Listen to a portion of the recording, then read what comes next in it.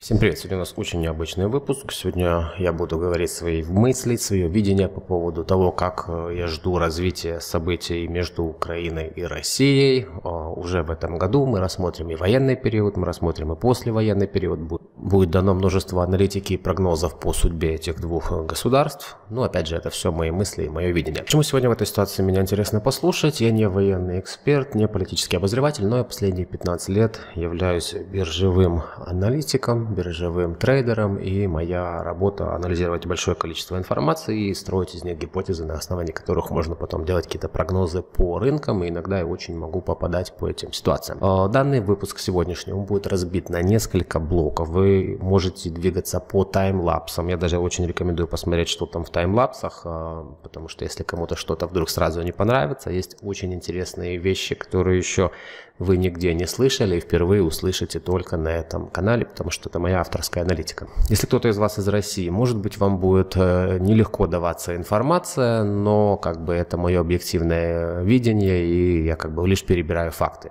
Поэтому как бы тяжело слушать, легко слушать, э, дело за вами, но те вещи, о которых я расскажу, которые вот могут строиться в этом году и скорее всего будут реализованы, лучше к ним быть заранее готовы к этим сценариям, как-то уже ментально к ним готовиться и понимать, какое место в жизни потом будете занимать вы в новом мировом порядке. Ну что, всех предупредил? Поехали. Теперь первый блок у нас. А, почему я считаю, что Украина победит а, Россию в военном плане, в этом военном а, конфликте? Мы будем разбирать кучу аспектов, из них будет складываться пазл и один из первых – это мотивация солдат. Мотивация, дух армии – это основа успеха. То есть какая мотивация русских солдат в данной войне? То есть кого-то обманом выгнали через границу под предлогом учений, кто-то шел искать а, потомков Бендеры, которые младенцев а, на ужин едят, кто-то просто шел там безнаказанно беспределить на чужой территории. Таких тоже хватает. То есть сейчас полный интернет бесед с пленными русскими солдатами. Они вроде не особо горды тому, что вторглись на Украину, они не понимают, за что они сражаются, что они делают на этой территории. Поэтому мы видим такое количество брошенной техники и бегущих с поля солдат. Какая же мотивация у украинского солдата? То есть после 2014 года, когда Россия по-братски забрала Крым, и устроила на территории Луганской и Донецкой областей бомжатник по типу Приднестровья, а может даже и хуже, то а, на Украине пошел всплеск а, национализма, патриотизма. И а, кто не знает, а, бомжатники, вот эти вот ЛНР и ДНР, почему они были организованы именно в этом районе? Потому что это были два а, наверное, самых таких или одни из самых богатых регионов страны. Они составляли от 15 до 25 процентов ВВП Украины на период до 2013 года. И там была львиная доля украинской горной промышленности, сталелитейной промышленности. И как бы отрезав эту часть от Украины, это был такой расклад у Кремля, можно было неплохо экономически ослабить Украину, что в принципе они и сделали. Именно тут, именно поэтому они здесь и организовали. Далее, после 2014 года, когда народ Украины был унижен э, старшим братом, э, который, кстати, подписывал бумагу о его защите э, в обмен на сдачу ядерного оружия, и среди э, населения как бы пошел всплеск э, ненависти к Кремлю и всплеск национализма, патриотизма, которого раньше в этой стране не было. Среди населения находились очень смелые люди, которые вот в чем было, в кроссовках, в обычной куртке, без бронежилета, без шлема, ехали со всех регионов воевать в окопах, чтобы как-то остановить расширение ДНР, ЛНР. Воевали они там с кадровыми русскими офицерами и наемниками, которых э, здесь вот воспитывали, взращивали и вскармливали, э, ну, кремлевский режим. Армии Украины до 2014 года не было. По сути, она не существовала. Это было плохо организованная, разворованная, немотивированная э, армия, которая как бы просто была на бумаге. И когда в Крым приехали зеленые человечки, по сути, вы видели, как легко там сдавались военные объекты. Э, солдаты Украины не могли поверить, не могли понять, как вообще можно стрелять в русского брата, и как бы просто сдавали им эти части и уходили. Тот полномасштабный сценарий вторжения, который РФ организовали в феврале 22 года, он э, сработал бы в 2014 году на ура, практически без выстрелов. Если бы они тогда заходили, его надо было делать в 2014 году. Тогда бы он сработал. Но Кремль почему-то забыл, что начиная с 2014 года по 22 8 лет а на Украине развивался национализм, патриотизм, восстанавливались э, вооруженные силы на дотации Запада. Сюда завалилось огромное количество вооружения современного. Украинскую армию тренировали лучшие инструкторы НАТО ее взращивали, готовили и э, готовили к неким натовским стандартам, уходя от этих совковских э, дедовщин и вакханалии вот этой вот совковской. Поэтому к 22 году армия Украины была подготовлена, настроена и без малейших вообще колебаний нажимала на кнопки на джавелинах, без единого сожаления, а где-то даже с огромным удовольствием, когда видела чужие сапоги на своей земле. Силы РФ не были готовы к тому, что их так э, агрессивно встретят, что их выжгут дотла, и а, люди как бы защищают свое европейское будущее и свое будущее. Поэтому от чего они хотели? Никто в ДНР жить не хочет. Все хотят жить в нормальной европейской стране. Так что э, далее украинцев 8 э, лет готовили через медиа, через сериалы, через фильмы. Было снято и показано огромное количество фильмов про Голодомор, про репрессии Сталина, про то, как насильно э, солдаты СССР СССР загоняли, загнали Украину в совок и украли у них там 80 лет жизни и так далее, так далее. То есть все исторические такие вот э, раб, э, обиды и такие вот события а людям 8 лет в них тыкали носом. И когда они видят солдата РФ, у них сразу уже на таком внутреннем уровне срабатывают все те э, исторические обиды, которые как бы шли с, с территории Российской империи. И украинцы настолько это все э, поглотили и усвоили, что даже рядовой гражданин, не являющийся с, с сотрудником вооруженных сил, видя БТР у своего дома, он туда без колебаний забросит э, коктейль Молотова, и нисколько ему не будет жалко этих 20-летних срочников, которых сюда по, по непонятным вообще предлогам отправили. То, что я вам сейчас рассказал, это просто как бы такая маленькая предыстория, почему победоносное шествие а, по взятию Украины там за 1, 2, 3 дня, оно провалилось. Вот как бы вот, вот была очень серьезная причина, которую я описал. А, далее огромной при огромной ошибкой Кремля было задействовать свою армию в масштабе. Это просто такой был выстрел в себе в ногу. Сейчас расскажу почему. Значит, весь мир боялся армию России, весь мир считал ее второй по силе после США. И когда мы увидели, что за две недели они взяли только город и то не миллионник, может быть еще пару поселков, они даже не восстановили границы ЛНР, ДНР в их э, областях.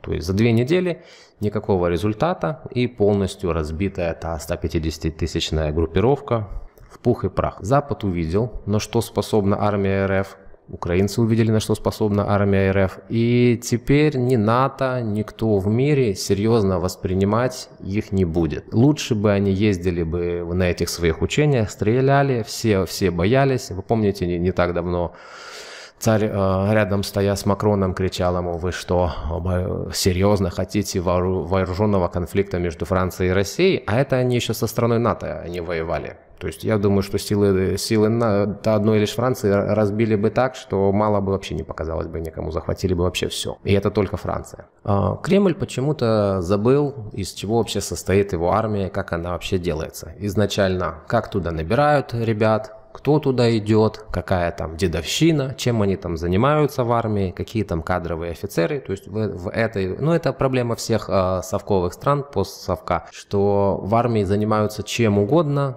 от строительства дач э, офицерам до красения, а потом стрижки травы, но чем угодно, только не повышением своих боевых характеристик. Вот этим там не занимаются. Потом армия разворована просто до нитки. Мы сейчас видим огромное количество видео с пленными. В чем они одеты, в чем они обуты, а какая у них экипировка. Ну, так, так, такой убогой, стыдной и несчастной армии, наверное, ми, мир еще, миру еще надо поискать. Потом качество офицерского состава. Сами знаете какое, чем они занимаются. Они там все алкоголики со стажем, может быть, какие-то единицы есть адекватных, но остальное это просто некомпетентные, неквалифицированные алкоголики, которые тоже в армии непонятно, непонятно чем занимаются. Наверное, только выслуга и все. И это все не сравнить с НАТО, где в НАТО не воруют у армии, где в НАТО приходят качественные генералы, которые всю жизнь повышали свои качества, где очень квалифицированные офицеры, где серьезные военные академии, где вот целенаправленно взращивают воинов, а не вот это вот выслуга и тунеядство. Ну и, собственно, имеем, что имеем. Что армия Украины, которая меньше и хуже вооружена, разорвала в пух и прах э, группировку из лучших из худших, которую только могли собрать. А это, как я уже говорил, они еще не воевали с любой из стран НАТО, где стандарты вооружения, стандарты качества вооружения э, и воинов, и офицерского состава на порядок и на порядок выше, чем те, что сейчас имеет Украина. Что еще удивило, то что там в армии РФ даже толком связи нету, там между танками они, грубо говоря, по мобильному телефону перезваниваются и все это перехватывается. То есть да, даже связь там не налажена, шифрованная какая-то военная между между, подразделениями. Тут, черти что, все украли. Далее разберем еще, как относятся к э, погибшим как бы на войне на Украине и в России. На Украине э, эти падшие войны, им посмертно звание героев, им огромные, там сейчас какие-то настолько огромные выплаты, что даже еще надо это проверить, я, я пока это говорить не буду, но просто какие-то безумно огромные выплаты погибшим. Это доставка на родину, в родной город, в родное село гробов со, со всеми почестями, где всем городом, селом встречают с цветами, с венками. Вот это отношение к погибшему как бы защитнику страны у страны. И как бы за такую страну идут воевать. Возьмите отношение э, Кремля к своим падшим э, в кавычках героям. Э, трупы не забирают, э, задним числом увольняют, ну, то есть э, почерк э, в лучших традициях Сталина, когда вот в СССР единица жизни, она не стоила ничего, это был просто расходной мусор, и вот все вот это, опять же, у них применяется. Поэтому за такой режим я, я не вижу большого, что будет большое количество желающих идти воевать, умирать. Ну и там были копеечные выплаты по, по смерти, сейчас их вроде повышают, но все равно они намного ниже, чем на Украине. Следующий фактор в победу Украины – это поддержка извне. То есть, если кто-то думает, что Украина сама по себе воюет, конечно же, это не так. Запад постоянно подвозит оружие. Когда-то они это делали самолетами, ну, сейчас как бы летать они не рискуют, но есть сухопутные пути сообщения и подвозится все и вся ежедневно ну, в любом количестве. Э, нехватка боеприпасов нету, нехватка а, современного противотанкового или противовоздушного вооружения нету. Потом у командования Киева наверняка, и это как бы я так думаю, а, все спутники США или Альянса, или почти все, включая их операторов и аналитиков, они получают реал-тайм данные о любом танчике, о любом БТРчике, о любых э, диверсантах, которые куда-либо зашли и в реал-тайме за ними отслеживаются. Поэтому они получают как бы где кто там находятся и хорошо по ним реагируют и работают. Далее Украине в удаленном режиме помогают лучшие генералы, лучшие аналитики Альянса США, которые в онлайн режиме анализируют ситуацию и каждый день, я уверен, на столе у ЗСУ лежит там с десяток э, предложений, как лучше обороняться, как лучше наступать и где кого брать. И там уже ЗСУ на месте решают, какой из невероятно хорошо продуманных и организованных сценарий им вы, выбрать. Поэтому и успехи такие у армии. То есть удаленно очень большие аналитические ресурсы им помогают, хотя физически пока не вмешиваются. Э, также, если будет э, сильное ужесточение конфликта, всегда может применить применится техника, которую применяла РФ в Крыму, когда зеленые человечки без опознавательных знаков появились и начали там э, что-то кого-то разгонять. То есть НАТО с тем же э, успехом может э, выделить там по, по группировке от каждой страны переодетыми зелеными или синими человечками и завести их и тоже говорить, что наших там нету, а они будут как бы существенно помогать. Может быть, даже уже это происходит. Они вон сделали интернациональные легионы, пока туда добровольцы при, приезжают от разных стран, но как бы уже практика есть, уже законодательство есть, под эту практику могут и, и профессиональные военные кадры заезжать. Теперь финансирование. Значит, воен, на период военных действий у Украины тут тоже выигрывает, у нее перебоев и проблем с финансированием нет и не будет вообще. В то время как э, у РФ сокращаются финансы внутри страны благодаря санкциям, и им закручивают э, гайки везде, где только можно, чтобы денег в стране было все меньше и меньше и меньше на войну, в Украине открыт э, безлимитированный вообще кредит, скорее всего, даже не кредит, а субсидия, которую возвращать никто и не потребует, как на поддержанию страны, так и на поддержанию армии. Поэтому как так хорошо держится сейчас на Украине банковская система. Повышены очень сильно выплаты военным. А, там надбавки сейчас по 1000 долларов э, обычным э, госслужащим э, силовых структур. И сейчас получают зарплаты военные в зонах боевых действий. Там что-то около трех с половиной тысяч долларов. В России явно, явно меньше люди получают, особенно на фронте. И, ну, понятное дело, это не совсем с бюджета Украины идет, а это все э, Запад им платит, поэтому такое хорошее финансирование. Но вот я к чему? У них нелимитированное финансирование, и они, они не могут так и 10 лет их держать, если надо. То есть Запад э, серьезно настроен э, силами украинской армии повалить окончательно этот режим, который как бы сам, сам влез в капкан, который себе и придумал. Далее. А сейчас на Украине мужчины выезжать не могут, и миллионы мужчин сидят без дела, без работы в своих городах. И на фронте хорошо платят, и дома делать нечего. И мы видим огромное количество желающих записываться, пополнять резервы, пополнять территориальные обороны, э, пополнять э, вооруженные силы Украины, что есть такая предпосылка. И делать нечего, и работы нету, и платят хорошо. Поэтому, ну и плюс как бы за святое дело пойти пооборонять свои города. Почему нет? Поэтому огромное количество желающих. Я думаю, что Украина соберет э, ближайший месяц там группировку в сотни тысяч хорошо вооруженных и там где-то уже подготовленных и может быть даже испытавших, испыта, испытанных э, на поле боя людей. И что РФ будет делать с ними дальше, при условии, что тогда еще э, режим Кремля текущий останется. То есть будет собрана очень серьезная группировка повоевавших людей, очень злых на кремлевский режим. Ну и плюс я говорил сейчас э, на Украине семьям погибших на фронте огромная выплата. Там что, что-то просто такое, которое не вписывается в голове.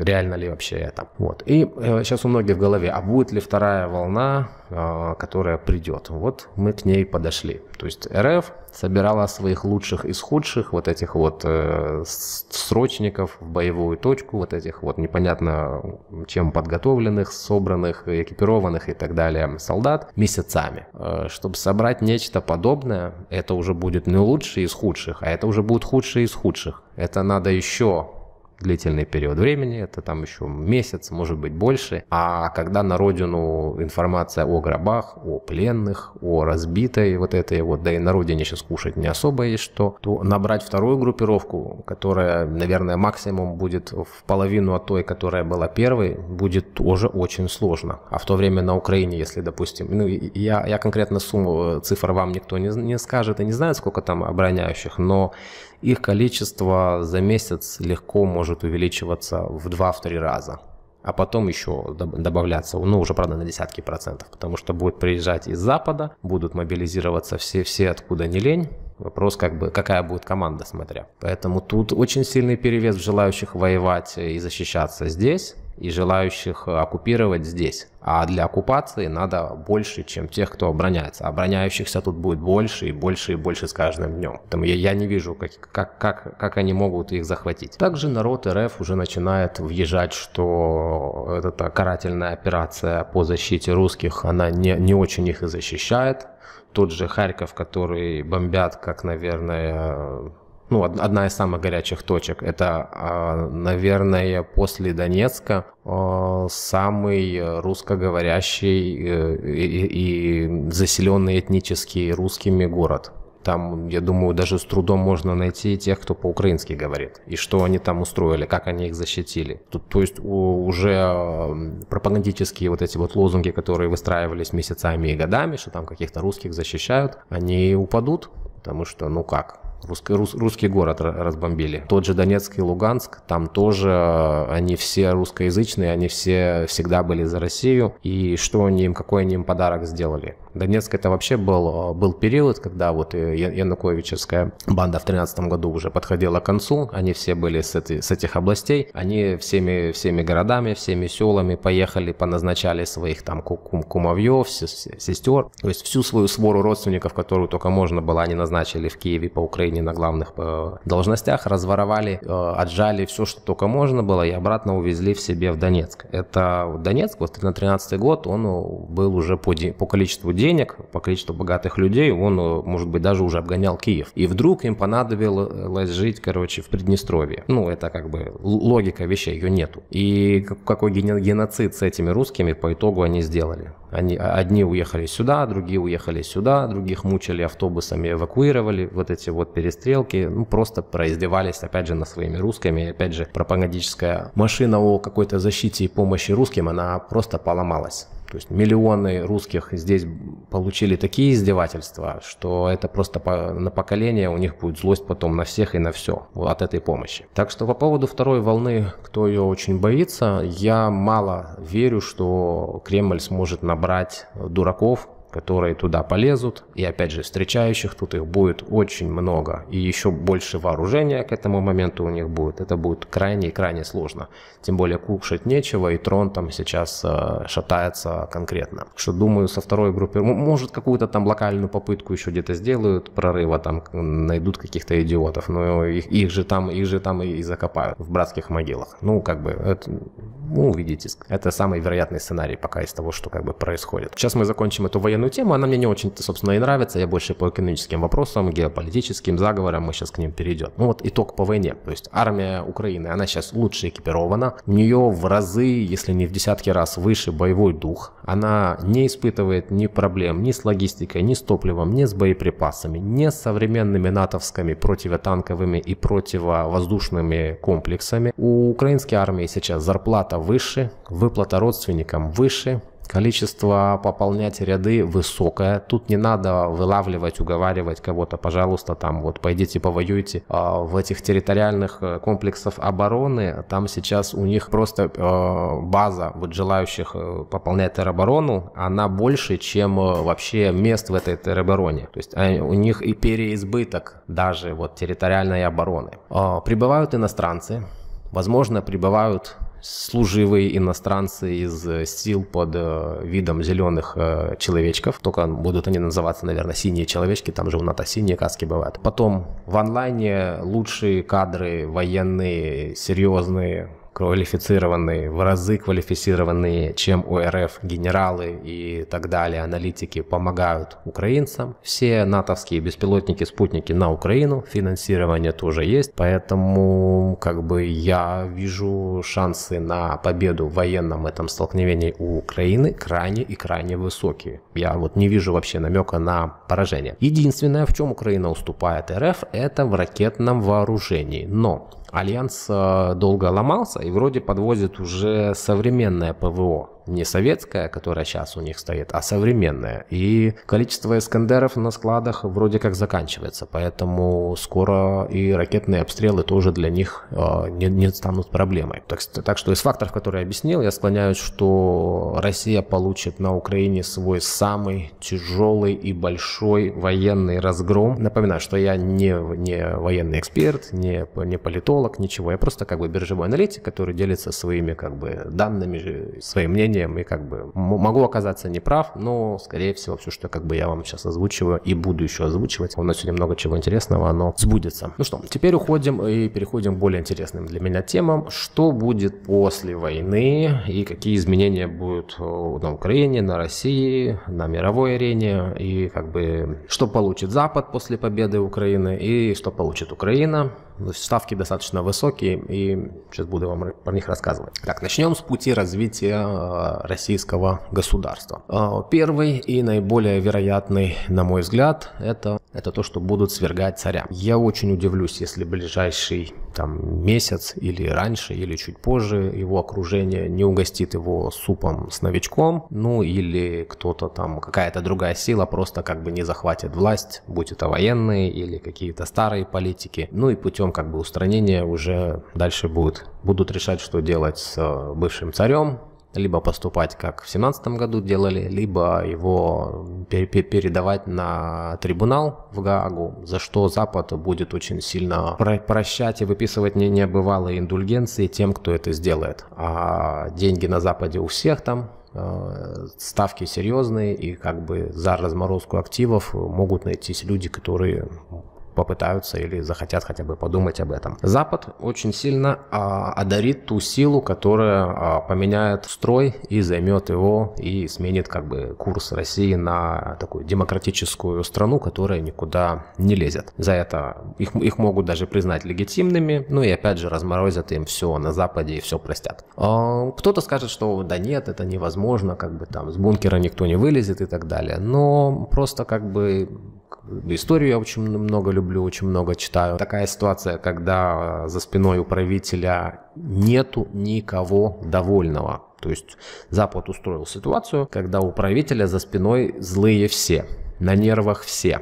А, все деньги за границей заморожены. Э, тот образ жизни, который вела элита РФ, э, который бизнесмены э, РФ вели, ездили в Европу постоянно, там выгуливали жен по Луи Виттонам, Шанелем и Эрме, то как бы все это закончилось. Все на, в Европе заморожено, на Западе заморожено, яхты заморожены, только вот это уже очень сильно бьет по психике. Я уже молчу про внутренний курс доллара в стране и то, что снизу плебеи начинают волноваться и поднимать голову, что тоже капает у правящей верхушки на нервы. То есть на работу там приходит человек, жена с вечера, занимая высокий пост, жена ему с вечера просто там выносила вчера мозг, что как ты мне обещал, мы там поедем э, в Париже Шанели накупим мне, а теперь как я без них, там, а, а дочка наша там хотела где-то учиться, школу оканчивает, вот мы там уже и присмотрели в Лондоне в Париже, а как она теперь будет. И вот после вот такого вот вечера приходит он на следующий день на работу и смотрит на предводителя, если он там еще попадается на, на глаза. Ну вот и вот таких вот людей будет очень много, и вот в таком, в таком вот стрессе все, все что угодно может происходить. Вот, то так что зажиточная элита, она в шоке, потому что их жизнь, э, которой они привыкли, которая им нравилась, ради чего они там все это делали, она полом поломалась, и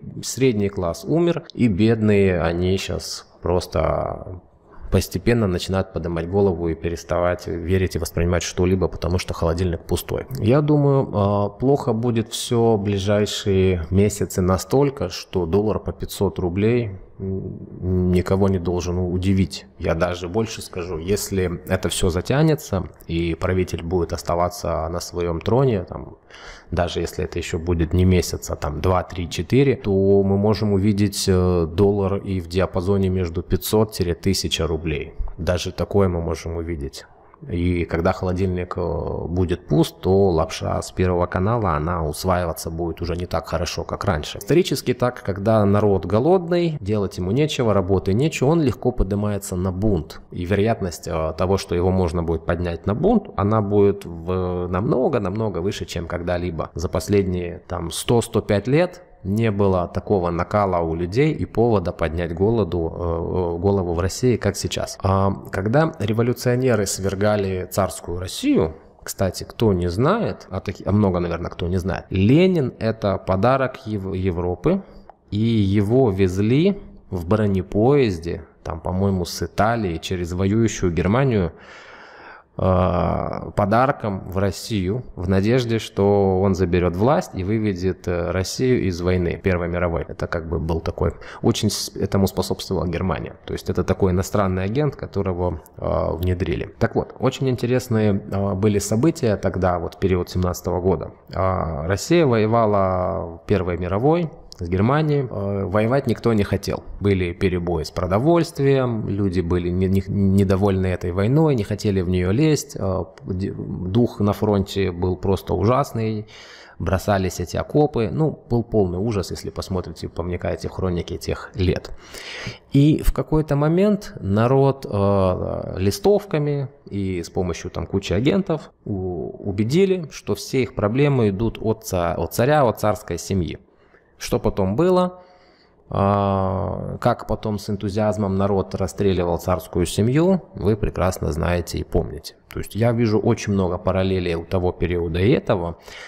Но сейчас мир современный и есть смартфоны, и благодаря этому как бы сознание работает быстрее коммуникации быстрее, все происходит быстрее. Вот. А так очень похоже на то, что было тогда. Пропустим теперь этап, э, как, э, ну, то есть я вижу просто неизбежный, неизбежную смену власти в России. Э, как это будет происходить, как бы неважно. Главное, как бы что вероятность того, что она будет, э, будет смена власти в ближайшие месяцы, она очень и очень большая. Ну, теперь как бы по моему видению, что будет дальше. Итак, э, царской, царской семьи 22 года не стало, там или новый преемник, или новая, может быть, там какие-то Навальные Ходорковские э, пришли к власти, может быть, какой-то там военный генерал пришел, может быть, из старых сил, там кто-то как-то это сделал, Запад им э, дал легитимность, возможно, на Западе что-то разморозил, и новая как бы Россия. Страна все еще, ну это мы, это мы уже идем, 22 год, скорее всего это будет в этом году. А, если это не будет в 2022 году, то как бы по ухудшению, но вот этот вот сценарий, он все еще сохраняется, и он наиболее вероятный э, у меня пока вот из того, что как бы мы имеем. Итак, доллар, э, смена власти произошла, доллар там в диапазоне между 500 и 1000 рублей, кто знает, может быть дальше даже и выше, смотря какая власть пришла. А, и тут а, представители народа будут отправлять своих избранников, избранники сами будут бежать к Западу, договариваться, снимите, пожалуйста, эти санкции, потому что нам нечего есть, у нас ничего нету, нашу нефть не покупают, нас никуда не пускают, нас на Западе все ненавидят, считают фашистами, нас это не устраивает, мы хотим как бы, э, это, это не мы все придумали, это типа была прошлая власть, простите, пожалуйста. Запад, окей, будь, прощаем, но он э, даст список требований за возврат РФ в цивилизованный мир.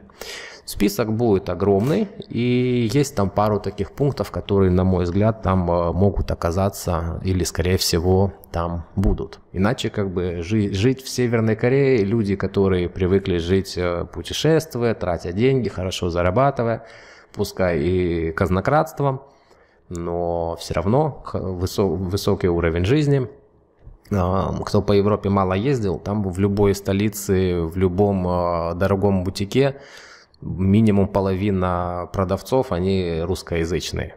Это я к тому, насколько казнокрады там э, гуляли, отдыхали, и под них там целые просто индустрии и ниши были сделаны. Э, как же Запад э, будет принимать Россию? Ну, во-первых, ее они будут наказывать просто по всей строгости, которая только возможно. Это ради строчек в истории, чтобы история потом показывала и знала, чтобы не было в дальнейшем прецедентов и новых последователей гитлеровской Германии 20 века.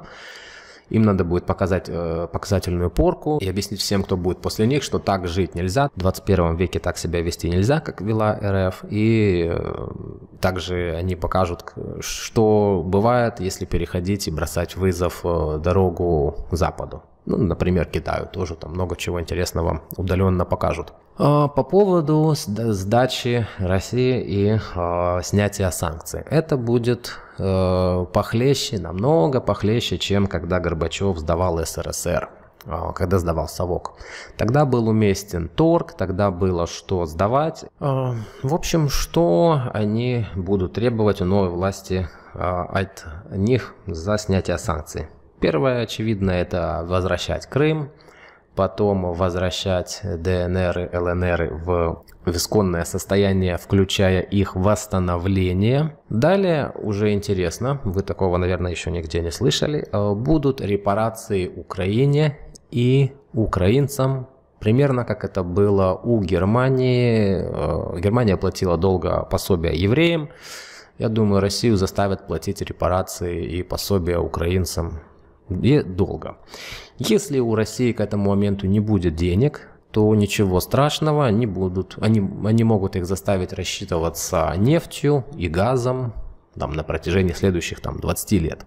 Украина там будет бесплатно получать или по себестоимости добычи нефть и газ, что в дальнейшем может очень хорошо сыграть на ее развитии граждане Украины будут заправляться самым дешевым топливом на, на свете и почти бесплатно отапливать, и промышленность тоже будет работать, тем более мощности и газопроводы есть. Это как бы один из таких пунктов, э, который обязательно поставят в случае, э, когда они захотят снимать санкции. По поводу ресурсов, кстати, э, украинцы так же как и белорусы, к примеру, и молдаване, они за ресурсы Сибири, за то, что Гитлер не, не забрал и не захватил, они умирали, они защищали Сибирь и поплатились за это миллионами жизней своих граждан. И еще до вот этих вот всех вещей они имели право на как минимум существенные скидки и существенные какие-то льготы при получения этих ресурсов после 1991 года. Не выпрашивать на коленях э, у Москвы, пожалуйста, продайте нам газ, а с гордостью и достоинством делиться с ними, потому что общее военное прошлое при войне с гитлеровской Германией им э, почему-то потом не досталось то, что они защищали. Кстати, на Украине э, вот здесь вот были самые большие залежи угля, железа, и даже нефть здесь была, но Советский Союз тут все добыл и все выкопал. То есть Советский Союз еще и украл у Украины э, ресурсы в свое время. Ну, это тоже такое маленькое отступление от темы. А сейчас Украина покупает газ в Европе еще и дороже, чем европейские страны. Хотя там есть цифры, сколько миллионов граждан э, в обороне от гитлеровской Германии, которая вполне могла захватить там все и были, не было бы потом Сибири у России. Ну ладно, это уже отступление. Так, по репарациям обсудили. Дальше интересный геополитический пункт. А, Россию заставят, на мой взгляд, сдать Западу все э, республики СНГ отказаться от любого вмешательства в их политику и полностью их освободить от своего влияния. Запад заберет все от Белоруссии до Казахстана. Все это уходит от России навсегда и пойдет по западному пути развития.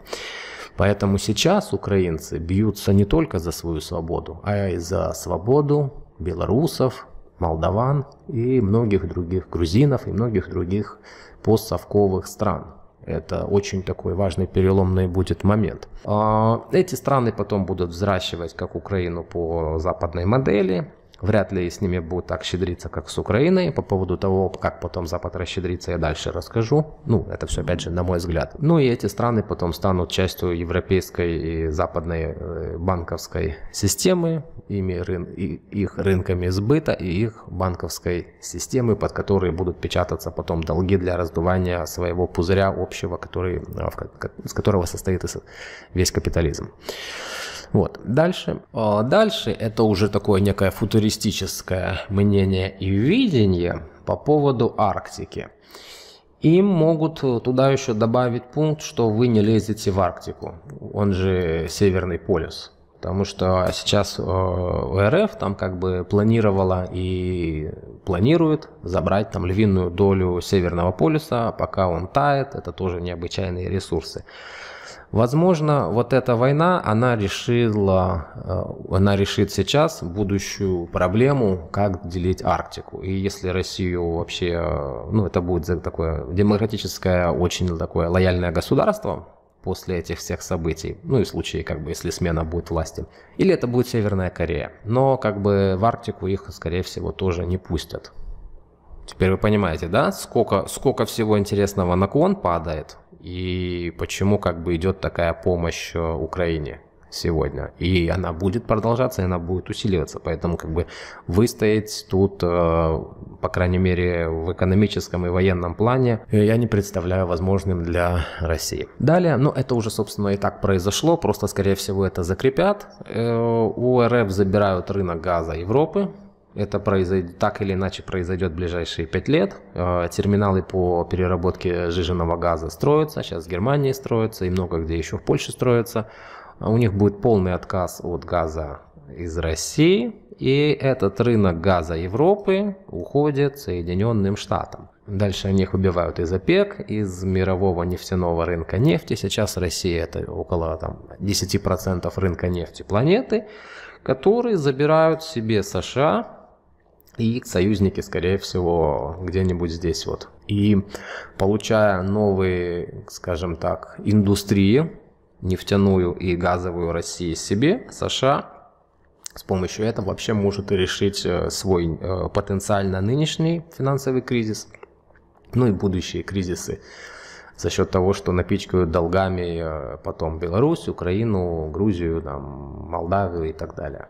Это уже потом такие далеко идущие взгляды. И в случае вот этой вот победы, вот этого потом великого сда сдавания России от новых предшественников, новых Горбачевых, э, это все будет очень сильно показательно для Китая, Запад покажет свою мощь финансовую, военную и политическую, и, скорее всего, после этого, после этой демонстрации, которая произойдет здесь в России, Китаю придется отказываться от всех своих а, амбиций на мировое господство. Это пока я так наговорил. Может быть все что угодно. Могут еще японцам что-то здесь вот предлагать, если они будут впрягаться и так далее. Ну, пока, как бы, я думаю, этого достаточно, что я озвучил, от чего как бы граждан России может и так сейчас э, волосы дыбом стать. Хотя это вполне, вполне возможно Потому что вряд ли вы захотите жить в Северной Корее. Вообще без ничего и никогда не выезжать. А, и плюс, когда в стране нет работы, э, это будет э, очень тяжело. Все хотят нормально жить. Теперь перейдем на будущее Украины после победы над РФ.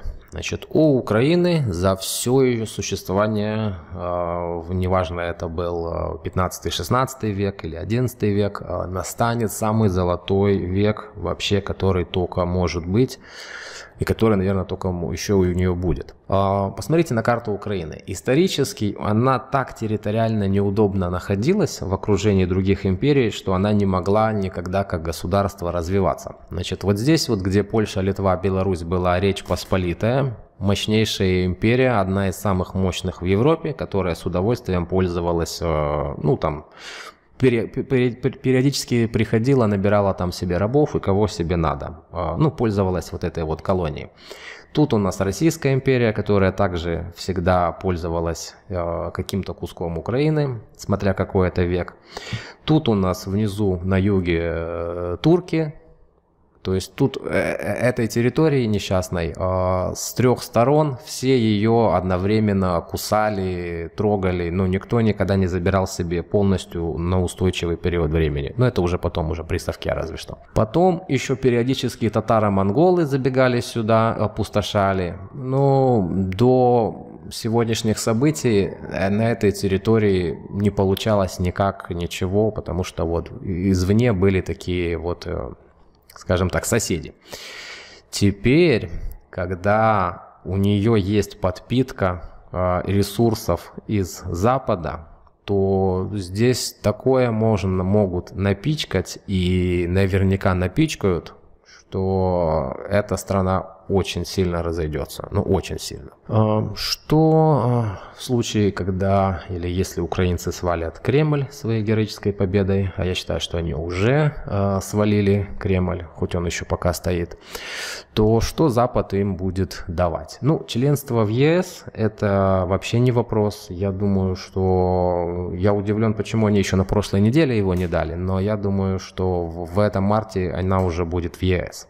Пускай э, пользоваться она еще тем, что дает ЕС, не сможет, там период вступления долгий, э, но просто по названию, что Украина член ЕС, скорее всего, это будет уже в марте, и это очень, это очень хороший такой геополитический э, пункт, он э, сильно повысит мораль солдат очень сильно повысит еще больше мораль солдат, что теперь мы защищаем нашу европейскую страну, а не просто там страну, которую там долго не брали в ЕС. А, то есть, то, что она в ЕС будет э, в этом году, я вообще не сомневаюсь, скорее всего, это уже в марте произойдет, хотя бы на названии.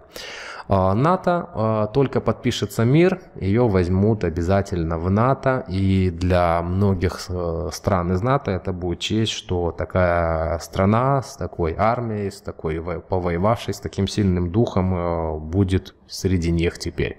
Это для них очень хорошее такое приобретение, и другие страны еще потом будут на украинцев равняться в этом плане. Украину будут отстраивать. То есть тут э, даже если Запад не выбьет репарации с России, а Россия будет в сценарии Северной Кореи и э, да, там даже не Ирана, там Северной Кореи конкретно, то Запад, ну и просто будет хотя бы мир такой, но они ничего сдать еще, сдавать будут не готовы. Тогда Запад будет восстанавливать за, скажем так, свои деньги Украину и очень сильными темпами. Не стоит забывать, что на Западе э, у кремлевских казнокрадов за 30 лет туда вывезли несколько триллионов долларов. И они сейчас там все заморожены. Из этой суммы там могут выделить даже, даже какую-то часть ее, десятую или около того, которой будет достаточно на восстановление всей страны и на усиление ее экономики. Я уже молчу про какую-то большую часть. Ну, и, а там еще репарации потом э, могут выставить счет за вот этот весь э, бомбеж, за вот эти все убитые мирные семьи, за всех, кто должен был выбежать, получив стресс с детьми. Это же какой-то уже ужас с ребенком там маленьким или с двумя по, по границам, по очередям вот это вот бегать по лагерям. За это все заставят платить.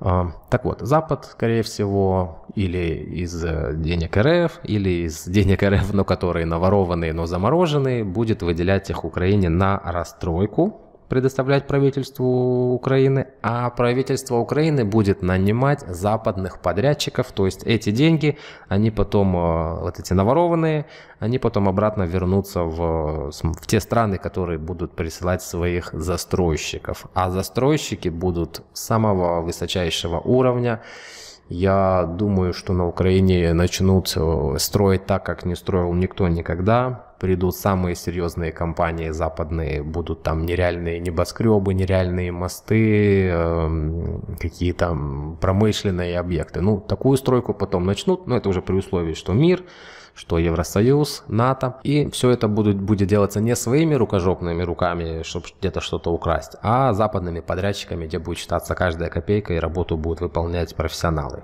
Ну, разве что, может, местные где-то будут привлекаться на какие-то черновые работы, но все вот эти вот оборудования, инженеры, это будет приезжать с Запада сюда на работу. А, далее всплеск здесь будет появление технологических западных компаний. Я не удивлюсь, если тут завод Tesla начнет строиться, может быть даже в 2022 году и так далее, и так далее. Какие-нибудь там дата-центры, штабы, там филиалы Google, Apple и так далее, и так далее. Огромное количество компаний сюда придет работать, потому что большое толковое население и Плюс есть такая воля Запада их тут трудоустраивать.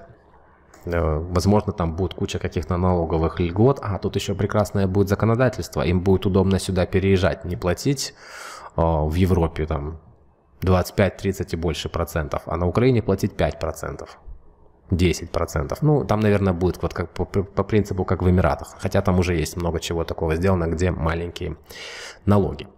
Вот. И при вот этом вот всем, то, что я сейчас озвучил, я думаю, что там к 30-му, ну, лет за 10, там где-то в 30-х э, годах э, этого столетия, то есть лет через 10 Украина станет э, ведущей страной Восточной Европы. Она обгонит всех, кто тут рядом находится, Польшу, Австрию, ну, всех обгонит, с западными влияниями, опять же, на вот эти вот деньги, которые к ней придут в качестве репараций. И сюда начнут стремиться переезжать э, большое количество иммигрантов, в том числе с стран СНГ. Возможно, с России сюда много кто начнет переезжать, потому что демократическая страна, которая идет понятным экономическим путем развития, которую развивают, э, которая уважаемая в мире, э, с паспортом которой можно поехать куда угодно, на когда угодно, будет вот бум такой иммиграции, и наконец-то Украина увидит не отток населения ежегодный, а там будет из года в год приток. Это я, я тоже думаю, что очень вполне возможно из того, что сейчас вот мир происходит. Так что очень сильный рывок украинского государства возможен. Осталось только выстоять, осталось только чуть-чуть подождать. Там уже режим э, народ или окружение сам съест. Пока надо только держаться им. И Запад откроет просто потом все двери и возможности. То есть тех возможностей, которые сейчас сюда придут, никогда в истории существования этой территории у нее не было и, возможно, уже не будет. Поэтому с этой ситуацией они должны взять по максимуму и, скорее всего, возьмут по максимуму. Ну вот, если вам нравится такой формат контента, я могу такого много выпускать подобного рода. Вопрос, как оно вам заходит. Напишите об этом в комментариях, что вы думаете о озвученных мной вещах, насколько это вероятно, насколько я вообще в адеквате, говоря такие вещи. Но я думаю, так все и будет. Это мое видение мира, по крайней мере, в этих территориях на 22 год. Все может меняться с катастрофической скоростью, но вот пока вот для меня вот такой вот сценарий наиболее вероятный. На этом все. Удачи, э, мира всем.